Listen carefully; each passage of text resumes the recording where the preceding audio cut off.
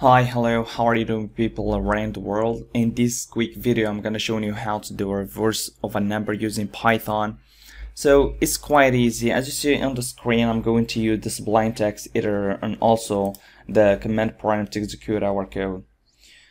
First of all, before we're gonna start or before we're gonna write our code, I'm, go I'm gonna show you what is going to happen in the background of, uh, of this. What kind of calcula calculations we have to write to get the reverse of a number. For instance, if the input number uh, it is 251, so the expected output we needed it is 152. So what kind of wages that we have to write to get this number? Alright, so first of all I'll do like a comment right here to showing you these uh, equations that we're gonna type it uh, in each in a Python code alright? As you see right here I'm naming my file value.py it has no meaning just a random word. So it's uh, naming whatever you want. Uh, I'm just gonna show you the steps or the equations that we have to write. So for instance the number so here just a comment showing you what is going to happen in the background, what kind of equation that we have to write to get the, the reverse of his number. Alright, the number, uh, as I said, 251. So first of all, we have to calculate its remainder. So reminder, reminder, it is equal to 251 divided by 10.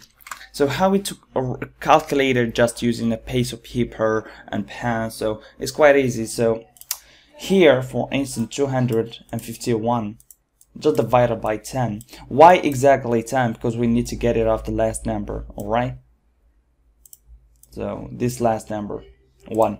So divided by 10, so what number that we have to multiply by 10 that give us 251? So using just calculator, is I think it is uh, 25 multiplied by 10 it is 251 so I'm sorry 250 so here 250 so here the minus uh, the output or the the remainder it is the hundred uh, one I'm sorry. So this is the number 251 the division or the number that we divided on it is 10 and the result it is 25 and the remainder it is 1 so we could write it like this 251 equal 10 multiply by 25 plus 1 but we are just looking for the reminder right now so just like go back to our code. So uh, I, I did I, I had done that just to show you guys how to calculate the reminder using a piece of paper. It's quite easy just using the Euclidean, division and you uh, going to find the result easily. So we calculator the reminder uh, we find it equal 1 alright? Now we're gonna find the reverse number alright? So the reverse number equal reverse number. What we're going to do here is just to bring the reverse number multiply by 10 plus 1 I'm sorry plus the remainder here let's just define the reverse number up here equal to 0 alright just zero, nothing else, uh, empty. A reverse number, there ain't nothing in it, uh, while the number it is fixed, alright? I hope it's understandable for you and you see it now. So why I done that just to show you that the reverse number that exists but it is zero, it's empty, N not exist yet, of course. Uh, I hope understandable. So just here, just repeat every single thing by its value. So here the zero and the remainder we find it's one. So the reverse number is gonna be like this. I'm sorry. Reverse number equal to 1. Here, the reverse number equal to 1. Alright? So this equation gonna repeat while the number is bigger than 0, alright? So here we have to define that the number have to be bigger than zero and, and if uh, the number is smaller than zero or minus 251 also just we're gonna multiply by minus and calculate uh, this or, or do these steps so here while the number is greater than zero it's have to repeat all of these uh, equations. So again it's gonna happen. Number here it's be gonna become number divided by 10 all right? Why divided by 10 as I said here to get out of the number. All right. Divided by 10 is gonna happen. Number is becoming number is gonna become so just calculator uh, 251 divided by 10 it is 25.1 25.1 but what but we here divide in two because we don't need the floating point. So just get it off all of the floating point. What you see right here you see that the 25 is bigger than 0 so this equation or these steps is gonna repeat for the 25 alright so here the number is become 20 uh, the number is becomes 25 and the reverse number number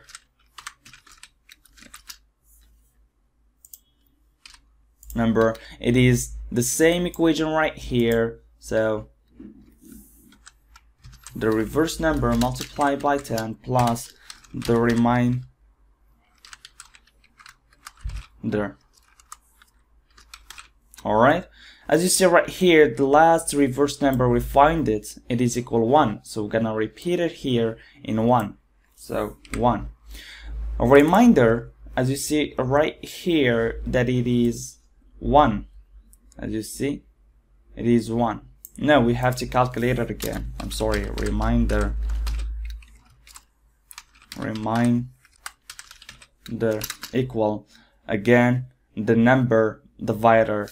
So number on 10 so the same equation here the number it is 25 so the remainder it is equal to uh, so just calculate it here. So 25 by 10 again I'm sorry. So just multiply by 2 so here 20 20 so the re the reminder here it is 5 so 5 and repeat it here so 5 so the expect output here or the reverse number it is uh, 1 multiplied by 10 10 plus 5 it is 50 alright? So here let's just calculate the number again by getting getting off of the last number in here alright? By divided by 10 again. Number equal number divider 2 times by 10 we do that just to get it out of the floating point. Uh, it's gonna become the number equal so here 25 divided by 10 so let's just uh, show I, I, I am here writing everything and then re replace it by its value just to show you how we're gonna work that in background while uh, when we're going to write our code write our code. Alright. So 25 divided by 10 it is it is 5 it is uh, 2.5 so 2.5 I said already we don't need the floating point so just remove it. Alright as you see right here that the number 2 is still greater than 0 so it's gonna repeat the same process. So the number again it is 2 so the reminder reminder reminder equal number again number divider 10 so and it's going to happen like this so reminder equal so here 2 so let's just calculate it right here so 2 divided by 10 So what we have to multiply here? Just 0. So 0, so the remainder is 2. Alright? So the remainder here is 2. The reverse number equal also the reverse number multiplied by 10 plus reminder Alright? As you see here that the reverse number we have from here it is 50 plus the remainder it is 2. So here the reverse number it is equal to uh, 50 multiplied by 10 it is 150 as I think so let's just calculate it 150 plus 2 it is 152 it is 152 it's gonna continue the process to calculate the number what it is. So the number here also number divided by 10 what is going to happen here? Number here we have it equal to as you see right here so 2 multiplied divided by 10 it's equal to so let's just calculate it easy. Uh, it is 2.0 so it is 0 0.2 I'm sorry. It is 0 0.2 and we don't need the floating point so here it is 0 what is 0 right here? That's 0 not greater than 0 actually it's equal to 0 so so until here the process is gonna stop because we we need to continue this process while the number so while number is greater than 0 if it's 0 it's gonna break out right? So this is the step that gonna happen in here. Uh, I hope you understand how it's gonna happen uh, what is going in the background. So or what going to do right now just to write our code. So let's define a function call it for instance uh, reverse number like this and give a value of number. Cool and here let's just define the number or define the reverse number equal to 0 and see while the number is greater than 0 while number greater than 0 you have to do this kind of steps or of these steps right here. So reminder equal to a number 10 and the reverse number is going to equal to reverse number multiplied by 10 plus reminder. And the number is gonna calculator by equaling number 10 so this is the price that's gonna happen here and at least uh, at last we're gonna uh, print the reverse number. All right? We have to print it in here. So print reverse number. So let's just here define our function or define number to give it an input. So input like this, enter for instance, enter um, any number to return return its uh, its reverse number. Its reverse number. Alright? Cool. And let's just say that number it is an integer. Alright? Uh, Alright. Now all we have to do just to call our function to run it. So like this and give the value of number. So now we are good to go. So let's just save our value code or value file and run in our command prompt. So just value.py, run it, uh, enter any number to return its reverse number. Let's just type 251. As you see right here, it is uh, 152. So it's the reverse of this number. We could here add some messages like the original number is the the the reverse of this number is. Actually you could add that by yourself. So let's rerun our code to a bigger number to see if it uh, gonna reverse it correctly. So value that pi